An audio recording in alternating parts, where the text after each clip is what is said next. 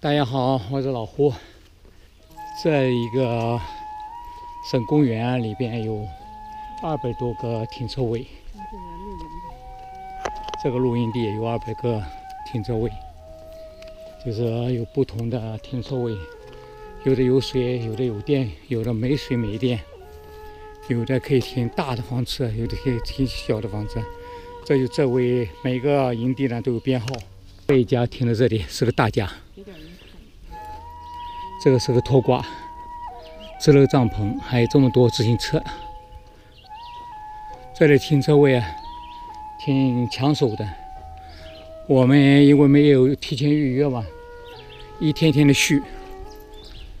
如果说有空了，我们才能换一个地方。今天早晨我们就换那个地方，有水有电的，特别抢手。你看这里有个。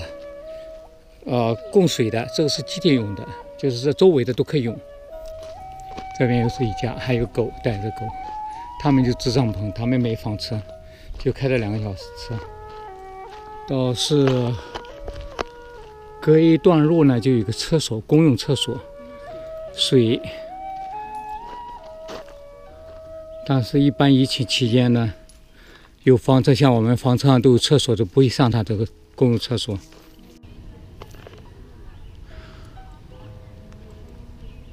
现在这么早就有人游泳了，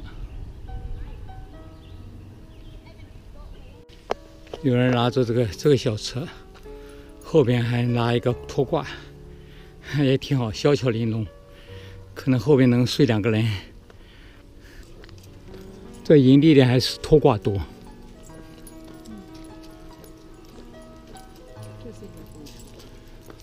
我。这边有个 C 型房车，看嘛，建拟房不一定很实用。这里有两个拖挂，又来了一个房车，又来一个扶车底盘的，是吧？C 型房车，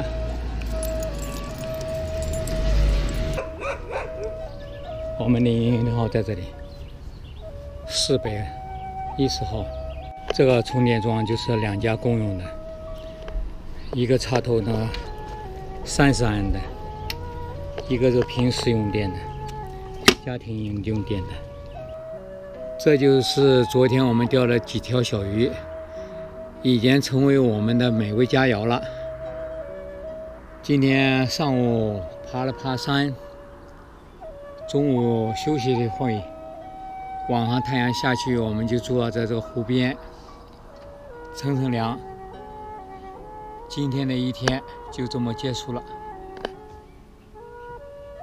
谢谢大家的关注，再见。